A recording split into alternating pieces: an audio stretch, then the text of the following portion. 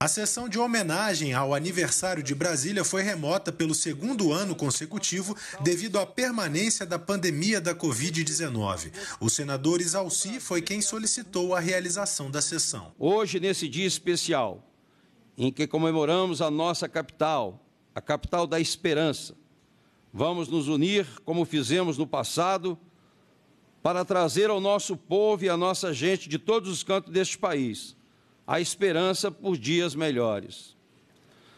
Vamos vencer esse momento difícil porque somos brasileiros.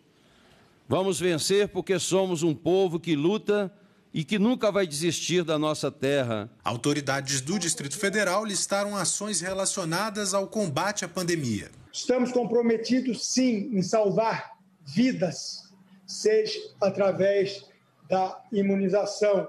Não podemos esquecer nunca e jamais a economia do Distrito Federal. A Câmara Legislativa do Distrito Federal foi uma das primeiras assembleias legislativas do país em que aprovou uma lei que considerou as atividades religiosas como atividades essenciais durante a pandemia.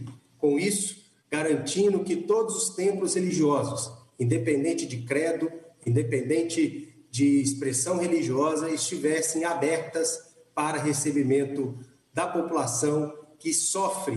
Devemos continuar respeitando nossa própria saúde e a integridade física do próximo, mantendo o isolamento social. As novas variantes da Covid são mais agressivas e transmitíveis e, mais, e transmissíveis mais do que o vírus inicial.